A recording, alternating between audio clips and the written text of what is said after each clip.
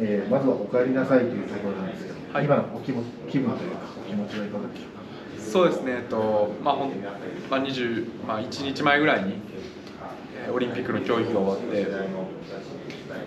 飛行機に乗って日本に帰ってきて、悔しい思いをオリンピックでしたので、G1 でその気持ちを晴らせるような走りができるように頑張りたいなと思ってます。体調などはそうですね、ちょっとやっぱり飛行機と日本に帰ってきて時差なのか今の時間にちょっと眠たいなっていう気持ちはあります。えー、競輪の自転車、まあ、ヤンググランプリみたいなんですけど、いかがですか？乗られましたそうですね、今日ちょっと自転車乗ってみたんですけど、やっぱりあの新しく乗ってる東レの自転車と比べて全然違うなっていう印象があって、どれだけ本番に向けて合わせていけるかなっていうふうに思ってます。それはまあ少し時間は短いですけど、どのように考えてらっしゃいますそうですね、やっぱりもう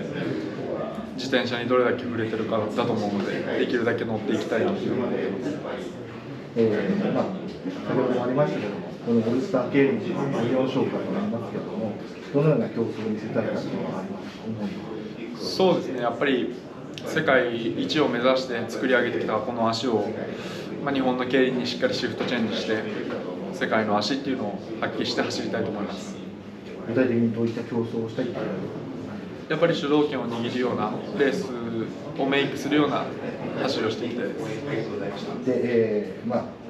オールスター競輪というのはファンに支えられて開催される大会なんですけれども、最後にファンの方にメッセージという形で一言いただけますはい、えー、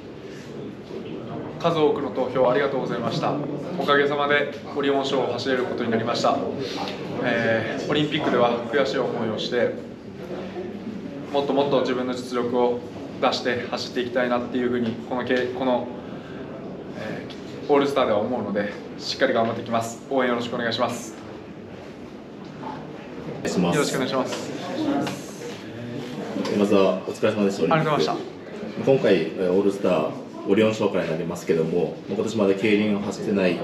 中で、まあ、この順位ということになりますけどもファンの方へお気持ちなどはありますでしょうか？はい、えっとまあ、昨年もあ日本の競輪っていうのを多く走れない中で少ないレースの中でこうやってオリオン賞っていう投票を数多くいただいたので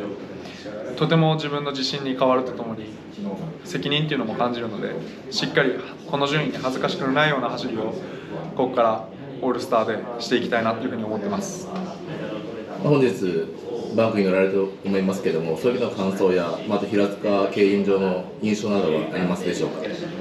そうですね。本当1日前まで250のバンクでパリの地で走ってたので、まあ、この平塚っていうバンクで 400m のバンクで、まあ、全て違う。ただ自転車に乗っててトラックのソロを走ってるってことだけが一緒な感覚で感覚は全然違うので、まあ、そういった意味でも全くパリとは違ういい結果が出ると自分で自身で期待してます。最後にオリオン賞は犬伏選手との連携になりますけども犬伏選手についてはどうでしょうか？そうですね、えっと、まだゆっくり話してるわけではないんですけどしっかり主導権握れるようなレースをして自分たちの力が一番発揮できるように走っていけたらいいのかなというふうに思ってます。わかりました。長丁場ですけど頑張ってください。ありがとうございます